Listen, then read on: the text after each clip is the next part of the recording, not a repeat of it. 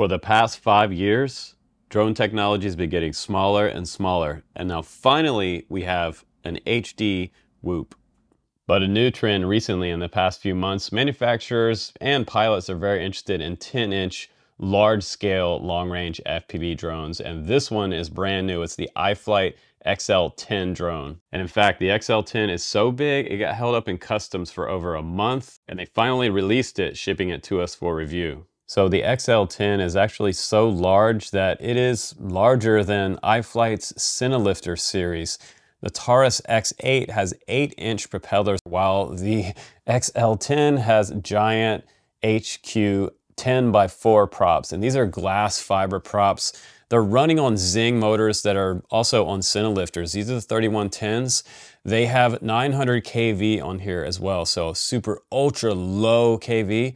And when you fire this thing up and you come up off the ground, it has a way different sound, a low, big, burly hum when this quad takes off the ground. Uh, it, it, it, sounds even way different than a 7 inch. And just to give you some scale comparison here, this is the Chimera 7 Pro V3 right here. And look at the size difference between a 7 inch long range FPV drone. Like you guys thought this was big, check out the XL10. It demands respect. Uh, when I plug this thing in, I, I, get away from it super quick. But we're gonna take it out now. We're gonna line of sight fly it first. We're just gonna make sure it's all happy and it's not gonna flip across the ground and crash.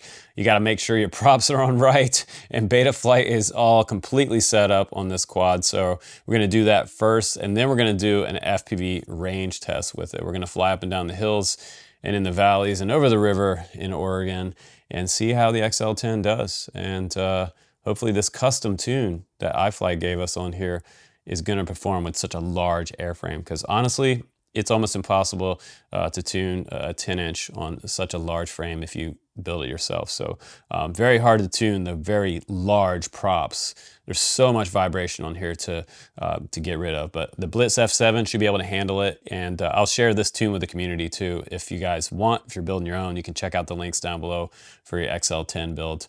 Uh, and I'm gonna, I'm gonna totally put DJI O3 on mine because I think this XL10 deserves this. So uh, without further ado, let's go out and line of sight flight test it and then we'll do some FPV. After that, we'll come back to the bench and I will give you a little closer look at the XL10 that I have here. Uh, bind and fly one coming up soon. Here we go. All right, guys, we're here. We're at the field, so we're gonna go ahead and do a flight test of the iFlight Nazgul XL10. First thing I'm gonna do is put it on the ground. I'm gonna do a little line of sight hover test, make sure all the props are on right. I'm also gonna wear leather gloves when I plug this thing in because the props are massive and I cut the tip of my finger off a while back. So I don't, I don't wanna repeat that process and maybe lose a hand with a 10 inch prop. These things are gigantic uh, and up in my face it's pretty intimidating. So let's go ahead, put it on the ground.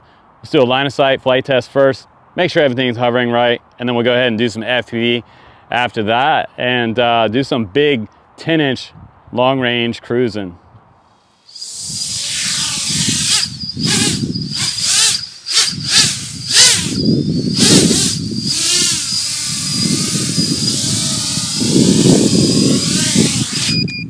Okay, oh my god, that seems like it's ready to go. Let's go ahead and do some FPV.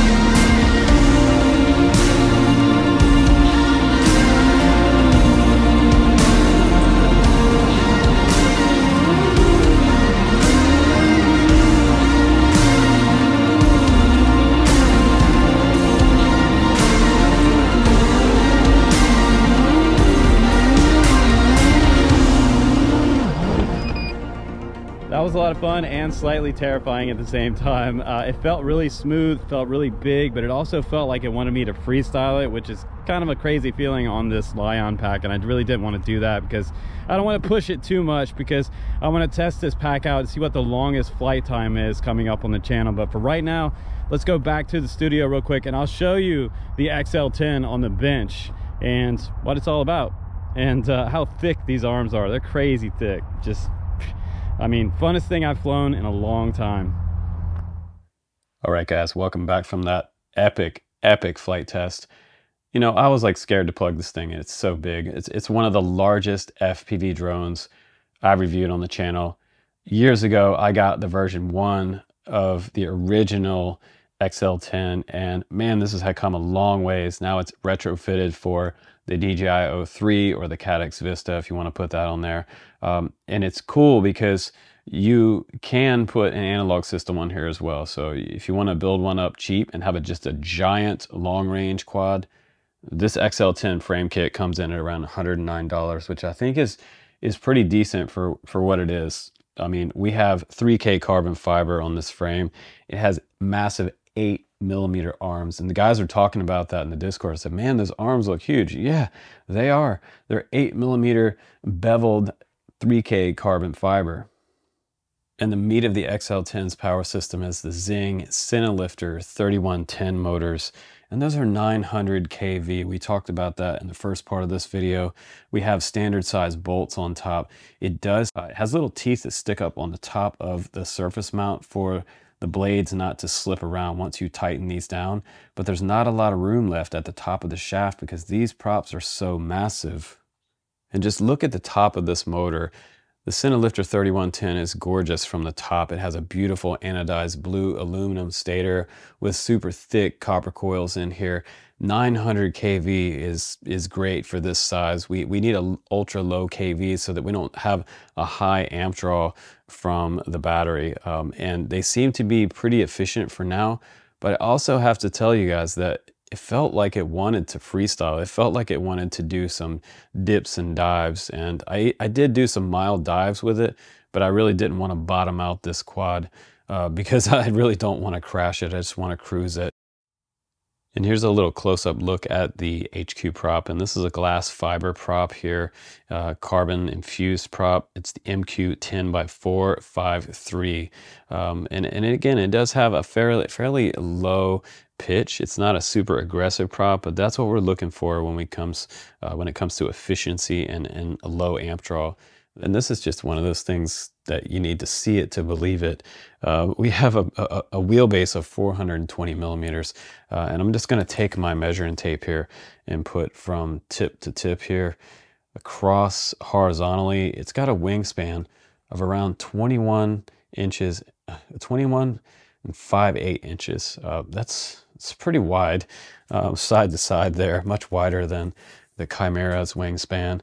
Uh, now from diagonally from back to front here, we've got, I want to say it was almost like 20, almost 27 inches from back to front. Yeah, 26 and three quarter inches from back to front there on the diagonal axis. And as far as body length goes, it's very similar, if almost identical, to the length of the Chimera Pro 7, uh, but it does seem to have lots of truck bed, as we call it, for battery space on top. And very interesting that the body lengths are almost identical from the Chimera to the XL10. And here's a tip for you guys. If you want to mount this 6S 4500 milliamp battery, you have to do it vertically because it's such a large and wide battery that the props hit it when they come around if you put it on flat. So uh, I learned pretty quickly before takeoff that I was going to have to do a vertical mount. You also get two extra large size straps that will hold this 4500 milliamp battery and possibly the 8000 milliamp battery that iFlight makes.